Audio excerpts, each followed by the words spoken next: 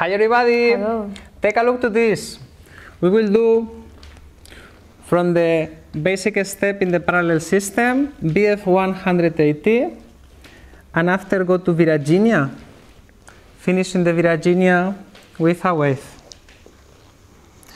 When you listen that we say parallel system, this just means that when the follower is, is for example, uh, stepping with the right leg, the head will be on the right, and stepping with the left leg on one, the head will be on the left. Yeah, this is the opposite than, for example, when we are doing uh, lateral with head, that you see that the position is more cross. We have the right foot and the head on the other side.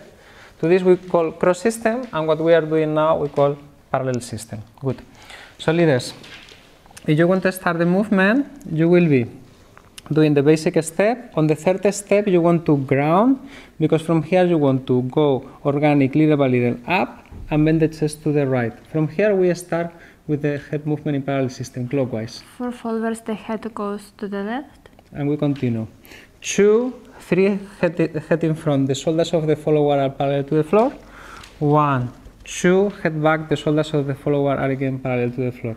Now we go to BF 180. So I start bending the upper body and rotating a bit more the follower Head goes to the left. because the next step we are going into the line In more diagonal down. and more the third step. If you want to see slowly the stepping, take a look to the last video.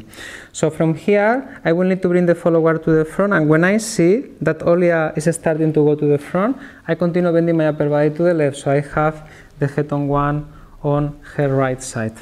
I bend to the left, she's on the right side. One, I go to Viradinha. Two, three. On three, I will go now. You see again the position of the follower with both shoulders parallel and the head is back. And, then then to Viradinha, take care that head is not going to an overside. We are still staying up. And uh, my upper body now needs to bring the follower to the front, but at the same time to bend to the right, so the follower brings the head to the left side. Okay? And we continue. One, two, three, head in front. And from here, you do like you want to go backwards, you bring the follower to the front, but then you come and guess. Take care of your head. Your head will be not aligned with the head of the follower. You can be a bit shifted to the to the left, and then you don't have any problem with the head. Mhm. It's okay? Yes.